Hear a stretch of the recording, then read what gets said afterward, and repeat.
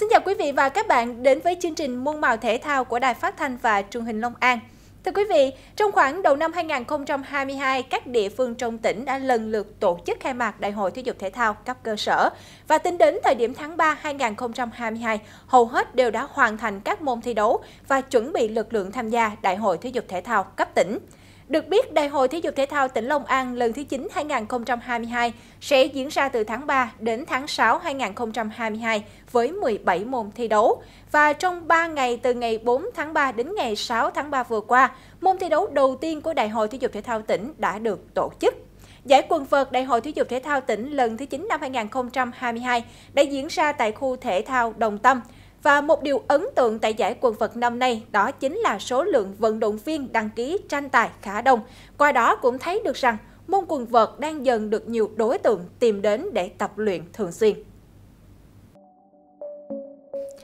Giải đấu quy tụ 83 vận động viên, trong đó có 18 vận động viên nữ đăng ký tranh tài, đến từ 14 đoàn thuộc 13 huyện thành phố và đơn vị công an tỉnh. Giải thi đấu bao gồm 5 nội dung đôi nam, đôi nữ, đơn nam, đơn nữ và đôi nam nữ.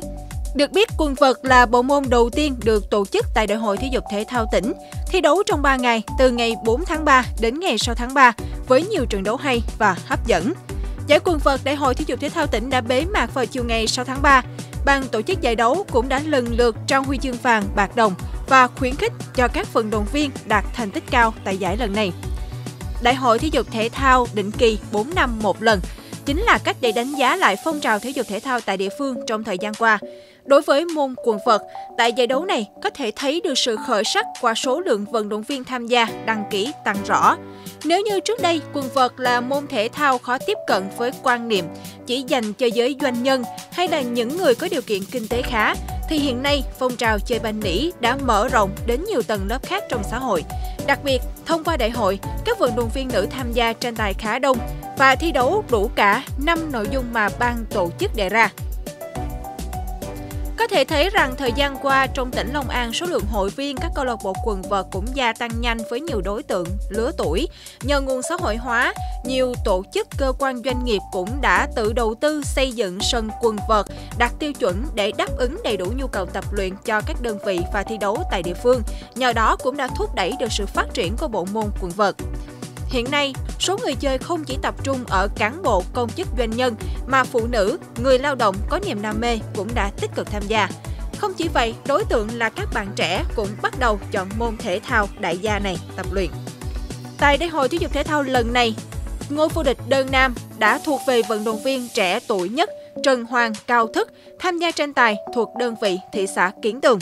Cao Thức sinh năm 1996 đến với bộ môn này đã hơn 10 năm và với đam mê, em thường xuyên đến các địa phương khác thi đấu, giao hữu, cọ sát. Sau thời gian tập luyện đến hôm nay, Cao Thức đã nhận được chiếc huy chương vàng của Đại hội Thể dục Thể thao tỉnh Long An. Đây như là niềm khích lệ để em tiếp tục tập luyện bộ môn này.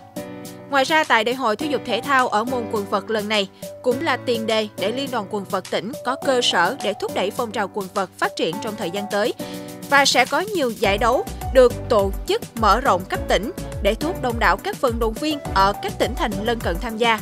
Từ đó tạo điều kiện để các tay vợt trong tỉnh có thể giao lưu, cọ sát học hỏi, nâng cao trình độ kỹ chiến thuật thi đấu. Ngoài ra, chúng ta cũng cần chú trọng xây dựng phong trào luyện tập.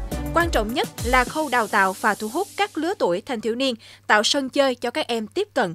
Từ đó đẩy mạnh phát triển phong trào của bộ môn quần vợt.